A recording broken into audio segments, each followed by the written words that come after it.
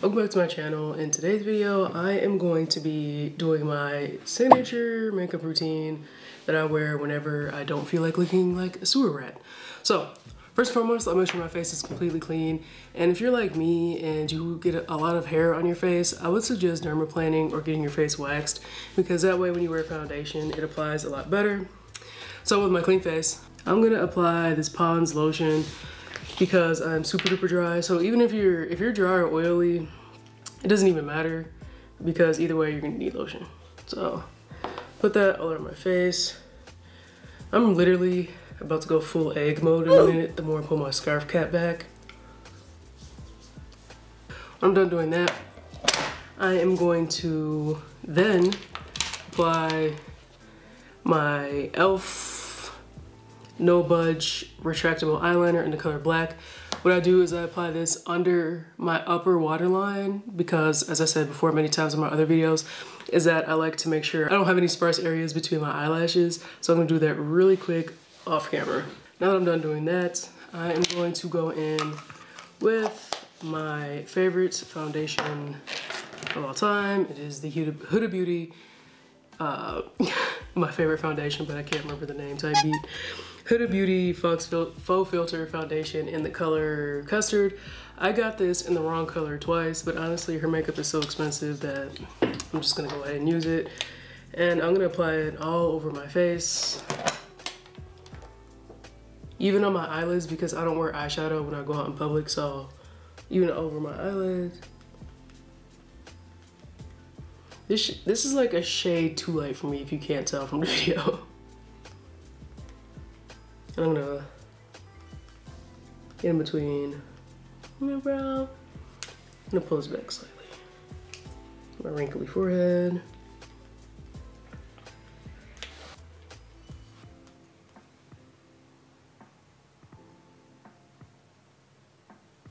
Alright, now it looks like I painted on my face. I'm going to take my Huda Beauty Build and Buff brush, which is something I think y'all should invest in and blend it all out.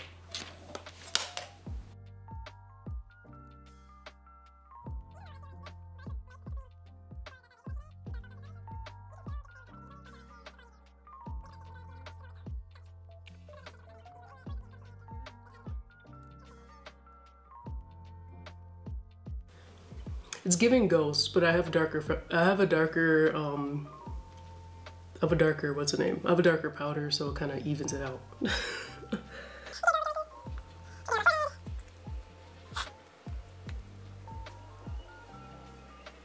One thing that I do like about this foundation, if I decide not to wear concealer with it, it's not gonna really be noticeable. So that's one thing I do like. And for the smaller areas of my face, such as my eyelids, I'm just gonna take my Beauty Blender and blend that out so I don't get um, foundation all over my eyelashes and my eyebrows.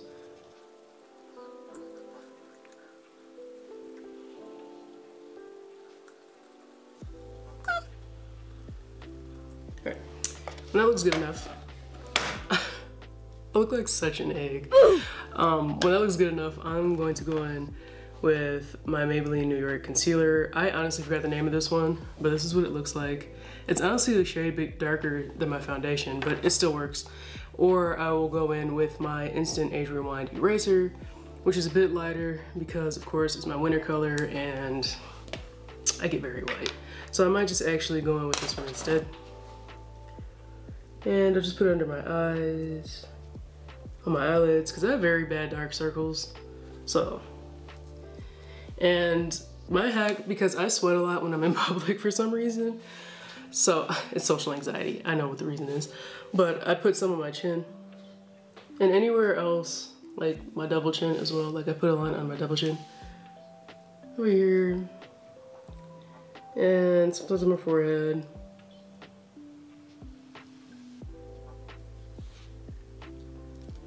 but I just get those really dark areas in my face or areas that I sweat at because if I apply concealer there then when I do sweat it doesn't show through if that makes sense and then I'm just gonna blend everything in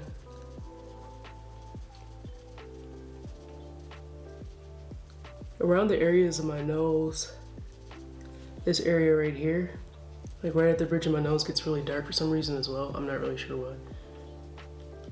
It's giving discoloration.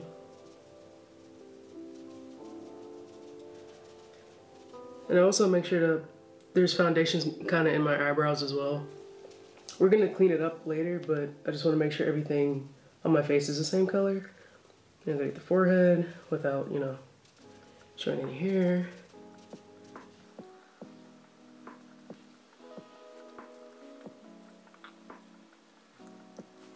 And I'm just gonna kind of blend on my chin. What I do is I don't wear I don't wear contour and stuff when I leave out in public. So I kind of reverse contour so it looks more natural.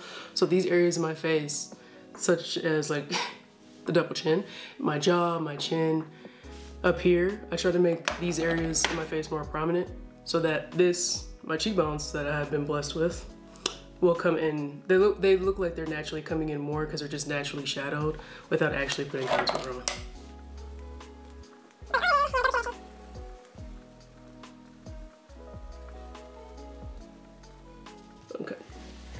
And since I'm a bit older, I'm, I'm reaching almost to the point of ancient. When I set my makeup, I make sure to reblend my foundation in so I don't leave any creases or anything like that. So I'm gonna go in, of course, Huda Beauty, Huda Beauty just gonna have to go ahead and sponsor me because girl. I'm gonna go in with my Easy Bake Loose Baking and Setting Powder and I'm using the color Banana Bread just for only around my eyes. Since I already picked up the wrong foundation shade twice, I only use this around my eyes because they have a tendency to crease because now I'm turning into an old hag. But I'm gonna go in with this darker color from Fit Me for the rest of my face, just to bring the color back into my face. I don't wear bronzer, I don't wear contour, I don't wear blush, I don't wear lipstick, just chapstick or Vaseline. so, so what I'm gonna do is, I get wrinkles on my forehead, so I'm just gonna blend those back in. And with my other beauty blender, I'm gonna pick up some of my powder and just apply it there. Even though people say that baking is trash, I still bake my makeup because when I sweat, my foundation does not move. I could be sweating buckets and my foundation's not gonna move, or concealer. Of course I raised my wrinkles again, so I'm just gonna blend that back in. You gotta make sure you really, if you get bad forehead wrinkles like me, just really relax your face. I don't care how funny it looks, just relax your face. The wrinkles will go away. Pack on powder, let it sit. Good. Looks good, it's baking right now. Now I'm gonna do my eyes. Whatever creases the most, I'm gonna make sure I bake first. So I'm gonna blend my concealer back into my eyes. If I have to blend too much though, I'm just gonna reapply more concealer. If I feel like there's not enough concealer there, I'm adding more, I don't care. I'm gonna take a beauty blender, dip it into my Huda Beauty powder, close my eye and make sure there's no creases in my foundation. And I'm just baking it. Just applying a lot of powder, baking it. Honestly, this is not an everyday look because every day of my life, unless I'm doing something important, I go out like a sewer. I really don't wear makeup every single day, unless it's for something that I might feel like I need to wear makeup for. Otherwise, I'll just wear eyeliner around my eyes, and that's it. And then I'm gonna do the same for my under eye. I'm just gonna blend all the creasing back in and then go in with my powder and my beauty blender and make sure I get into there.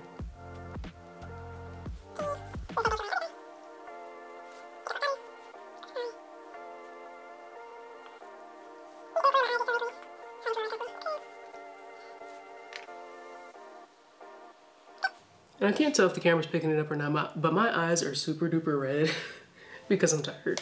So, okay, now that that's baking, I'm gonna go in with my dark, my darker powder. I have both these powders. I have color 25 and I also have color 15, the Fit Me powder. And that's just to bring color back into my face because I don't have the correct shade. So anytime you pick an incorrect shade, just try to find a powder that's darker and it'll help you out. It'll work wonders. So it'll, it'll come together in the end, trust process. I'm gonna use the color 15 since I'm slightly lighter than normal because we ain't been getting out in the sun like that. And I'm gonna just gonna take a bigger brush. I'm not gonna bake the rest of my makeup on my face. I do bake on my chin, but I use my darker shade. But actually, I might just use my Huda Beauty shade. I don't know. I'm also gonna bake on my chin. So you can see like these features look lighter and then down here it looks darker so it brings in my cheekbones more without having to contour. Cause like my cheekbones are there, but when I put foundation on, everything gets so much, um, it gets so much lighter so I just kind of look like an egg. Like I'm, I'm, I try so hard to not look like an egg, but I think I'm coming to the point where I accepted it, so. Then just tapping off the excess powder and I'm just gonna pat that straight onto my foundation. It looks aggressive, but it's not. And when you're applying your powder to the rest of your face, if you don't plan on baking, just try to be light with it so that your whole face doesn't look super duper cakey. But I like matte, uh, I like matte looks. I don't like dewy looks. I don't like looks that look like I'm sweating because I'm always sweating. So yeah, I try to stick with matte foundation looks. I think that looks the best on me. While I still look like my face has been dunked into baking powder, I am now going to go in with my e.l.f. eyeliner while everything is baking, which is everybody's favorite part because they wonder why I wear such thick eyeliner. And the reason why I wear super duper thick eyeliner is because when I look at my eyes, to me, they look really big. So what I like to do is just try to make them smaller and in order to make your eyes look a little bit smaller, you, you'll make this part of your eyeliner thicker if you wear eyeliner under your eye like me. And then you make this part thicker and then you're gonna bring it in and make it thinner. If you make the whole eyeliner look look thick, then it's gonna be, you're gonna look like a raccoon. So we wanna avoid that. I'm probably gonna do some of this off camera too because it's not easy balancing my mirror, my mirror and my pen. I'm just gonna put my eyelid down. Just go back and forth, back and forth. I've been wearing my eyeliner really thick like this since I was about 19. I'm 25 now, so it's been a while. To some people, I know it looks strange, but I don't know. That's just that's just how I like to wear it. so that's the way I'm going to wear it. And my eyes, if my eyes don't look upside down, that means I'm not doing it right. So if my eyes, the more upside down my eyes look, the, the more it means it's working.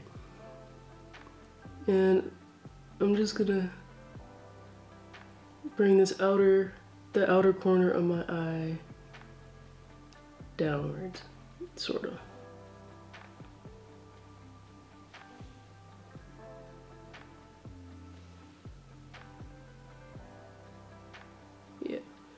Um, my line isn't as thick as it used to be because it's not easy to achieve all the time, but I'm satisfied where it's at. I just like a thick line underneath my eye. That's literally it.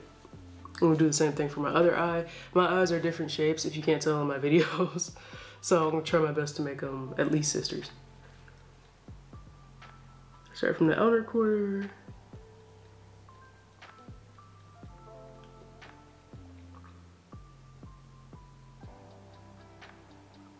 Do my waterline. Back and forth, back and forth. And if you are somebody who has really, their eyes water a lot, just try to put layers on of waterproof eyeliner and then that way it should stay on for the entire day. I'm not sure if this eyeliner I'm using is waterproof or not. And then just gradually, I'm gonna keep bringing my line down until it matches this one on the outer corner, not the inner corner. Like I can't stress enough, this inner corner part of your eyeliner needs to be skinny. This part can be fat.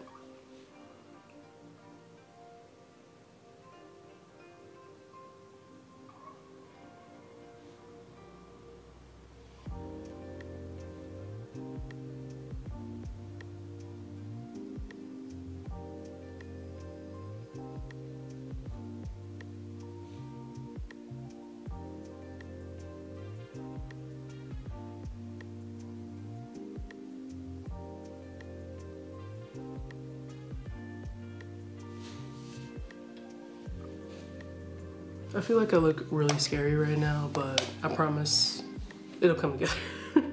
it'll go together.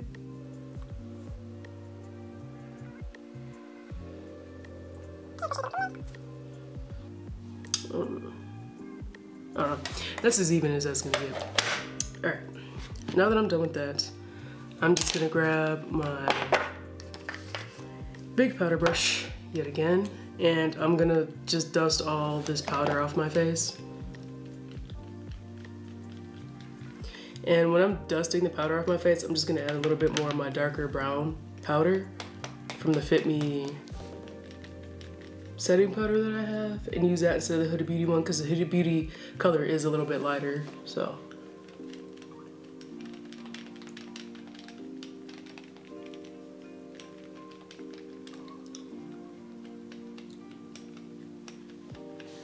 Also, I also have a smaller brush for around my eyes so I don't get powder everywhere.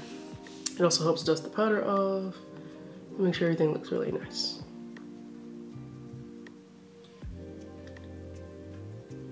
Of course, it's all over my hijab, but you know, sorry.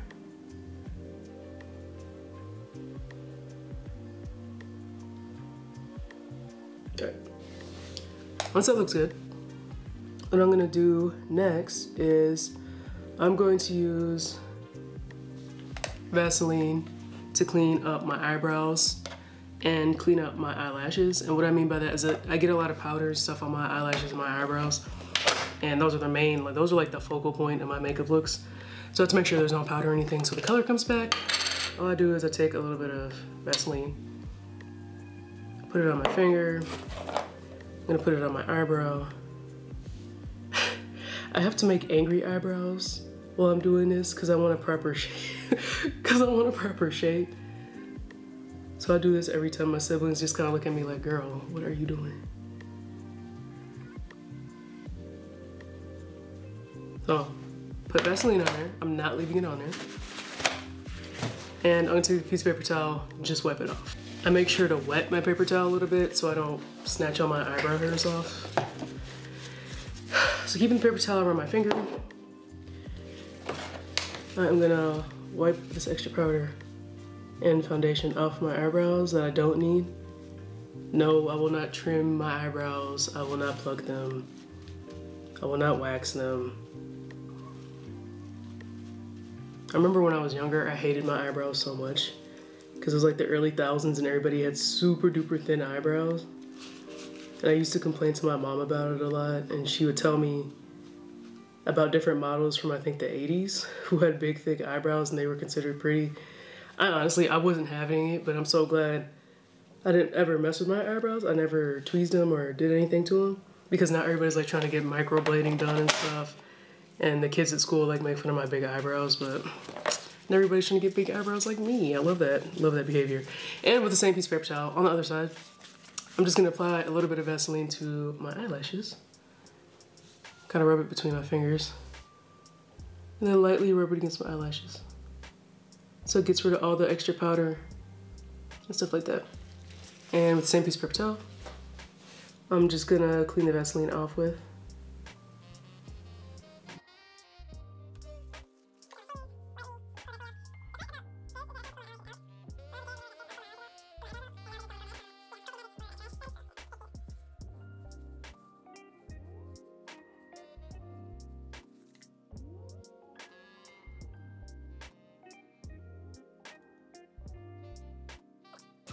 Also gonna wipe the extra foundation and concealer from around my mouth. So my lip shape is back.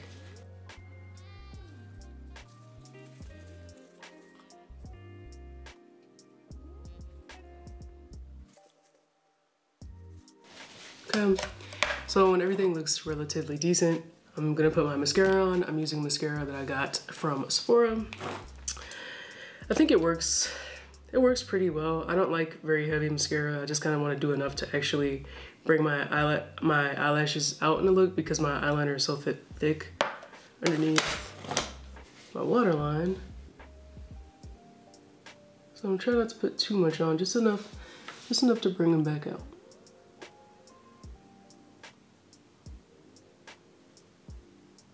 Even though this is the Sephora brand mascara, I can say that it is kind of clumpy. I'm not gonna lie.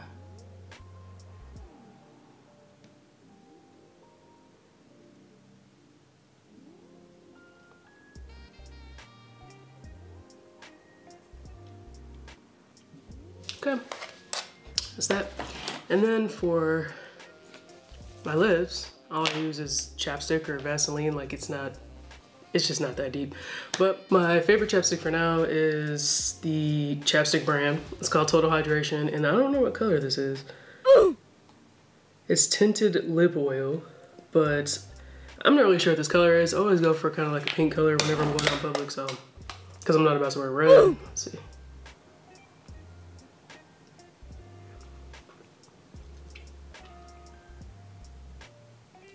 I also like that it's a um it's a lip tint, so it's kind of similar to my mouth shade already. I try to go with something that um is similar to what my lips are.